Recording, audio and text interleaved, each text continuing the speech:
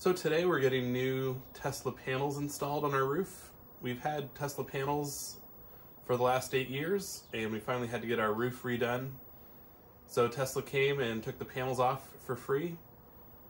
If you're looking at buying solar, uh, make sure that a re-roof clause is in your contract.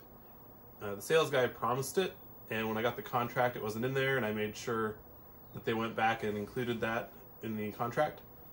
Uh, so one thing to, to make note of if you're shopping for solar. When Tesla pulled the panels off, they said that the mounting system for that was obsolete. They can't get parts for it anymore. And they have a new improved mounting system, which I'm going to show you today. Uh, the old mounting system was basically a long bar piece of unistrut that went the length of the roof that was anchored with flashing. And the problem with that system is all the debris from, we have a redwood tree, so all those redwood needles kind of rain down on the roof and they collect under the panels against that unistrut. And it just sits there and rots for years and years. And when they took the panels off, there were tons of insects in there and it, it seemed like a fire hazard. And Tesla also said they had problems with the electrical connectors on those old panels. So when they took them off, they, they called headquarters and they said, we're just going to put brand new panels on. And so this is the new mounting system for uh, the new panels. It no longer requires a, a long bar, a long piece of unistrut to be installed. Uh, each one of these gets mounted on the roof and it's uh, two pieces here. The bottom is a piece of plastic with a foam gasket and that is installed on the roof surface and then this aluminum mount has tapped holes for mounting the panels. That kind of creates a, a sandwich. So the bolt goes through and then there's a little port here for a nozzle for injecting sealant.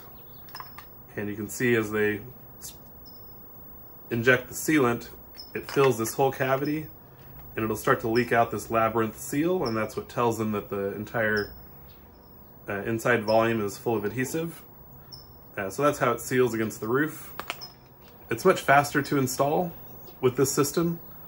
They installed 12 panels in two hours, where previously they'd have to haul up these 14 foot long pieces of steel unistrut.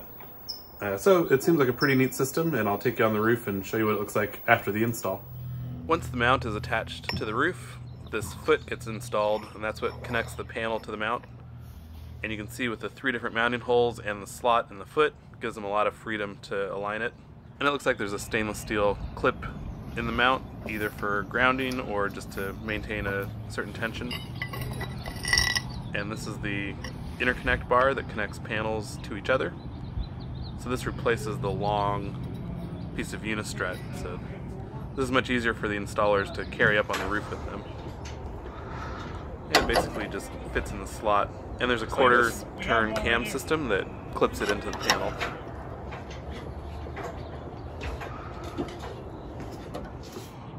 So these are uh, the new panels that we got. We did a re-roof and the old panels, we used to have 15 panels that came out to the edge of the roof. And now we only have 12.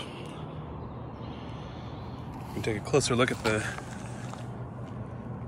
how these mounts are installed.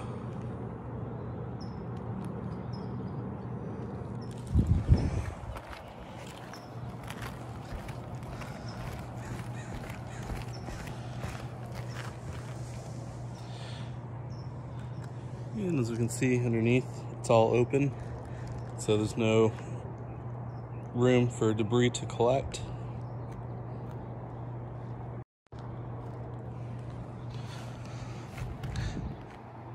And they had these panels installed in under two hours from the time the truck pulled up to the time the truck left, which is uh, pretty impressive. In case you're wondering what the rest of the system looks like, this is the AC disconnect, which disconnects the inverter from the grid. And this is the inverter with the DC disconnect, which disconnects the panels from the inverter. And on the inverter, we can also monitor how much current and how many kilowatts the system's putting out to the grid. Right now it looks like it's doing about 3.2 kilowatt, which is pretty good considering it's slightly cloudy outside. I can also monitor what the solar is doing from the Tesla app. Uh, if you open the app and it shows your car, you can just swipe to the left and it'll show you the, the solar system. And considering this was installed uh, eight years ago, I think it's pretty impressive that it's still integrated completely with the Tesla's ecosystem. Anyway, thanks for watching and uh, feel free to subscribe to see more videos. Thank you.